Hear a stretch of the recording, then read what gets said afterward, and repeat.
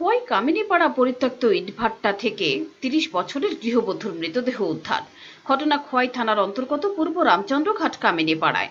মৃত গৃহবধূর নাম টুনি গোয়ালা। ঘটনা বিবরণে জানা যায়, মৃতের শাশুড়ি কামিনী গোয়ালা জানান, গত মঙ্গলবার তার ছেলে সমীর গোয়ালা তাঁর স্ত্রী টুনি গোয়ালাকে সঙ্গে নিয়ে সন্ধেবেলা বাড়ি থেকে বেরিয়ে যান। রাত সাড়ে দশটার সময় সমীর বাড়ি ফেরার পর কামিনী গোয়ালা লক্ষ্য করেন তার সঙ্গে তার স্ত্রী টুনি গোয়ালা নেই। তখন তিনি জানতে চাইলে সমীর জানায় সে কাজের জন্য ইটভাটায় রেখে এসেছে।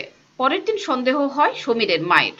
সারাদিন চলে যাবার পর রাত দশটা নাগাদ সমীরের কাছে পুনরায় জানতে চান তাঁর স্ত্রীর বিষয়ে। তখন সমীর তার মাকে জানায়, সে তার স্ত্রী টুনিকে হত্যা করে মৃতদেহ বাড়ির পার্শ্ববর্তী ইটভাট্টার একটি পরিত্যক্ত ঘরে রেখে এসেছে।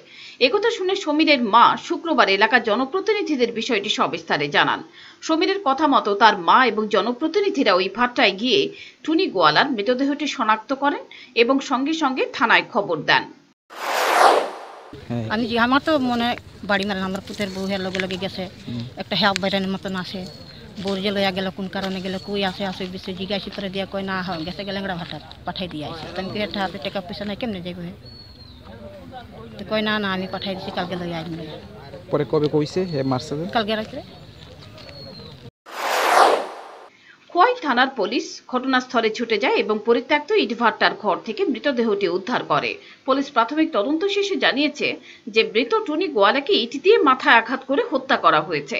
মৃতদেহটি ময়না তদন্তের জন্য পুলিশ খোয়াই জেলা হাসপাতালে নিয়ে আসে। পলাতক সমীর গোয়ালাকে পুলিশ গ্রেপ্তার করতে পারেনি।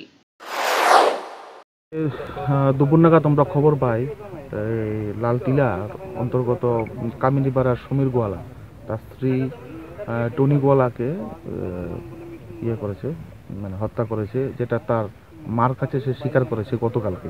তো সেই মতো ওনার মা গ্রামবাসী সহ বিশিষ্ট লোকজন সহ খোঁজখবর করে। খোঁজখবরের পরে লাল টিলার অন্তর্গত একটা পরিত্যক্ত ইটভাট্টা আছে, সেখানে একটি পরিত্যক্ত ঘরের মধ্যে সেই টনি গোয়ালার মৃতদেহ উদ্ধার করে। এবং আমরাও সঙ্গে সঙ্গে আমাদের পিএসএ টিম সেখানে গিয়ে ডেড বডি রিকভার এবং যাবতীয় যা কাজকর্ম আছে তা করে এখন ডেড বডিকে মর্গে স্থানান্তরিত করা হবে তার পিএমের জন্য Dindao.